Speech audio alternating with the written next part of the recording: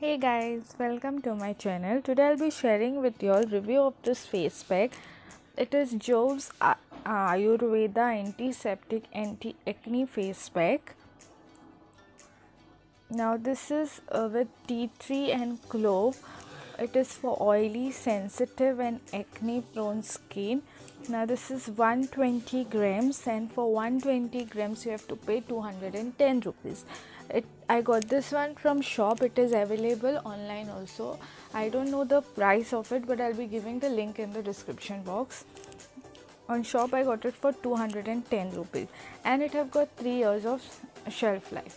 Now the process how to use this you have to wash your face and apply a thin layer of this face pack on your face and neck.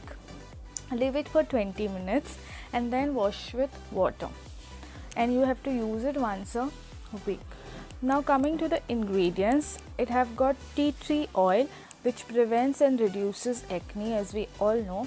It comes redness, it uh, reduces swelling and inflammation and it gives your skin very smooth clean texture like and there is long pepper oil that acts as antioxidant that fight uh, free radical that harms skin and causes premature aging. There is nutmeg oil which has anti-aging properties, prevents fine line and wrinkles as it promotes circulation. There is turmeric oil that uh, prevents acne that is antifungal, antiseptic that uh, prevents further breakouts of acne.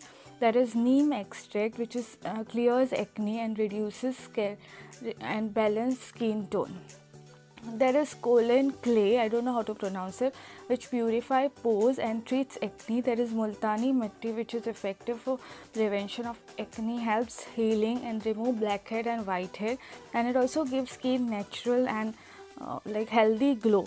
And there is one ingredient in this, like yasser, that is ash of zincum something, which I don't know what is the use of it, but if any one of you all know, then please tell in the comment section.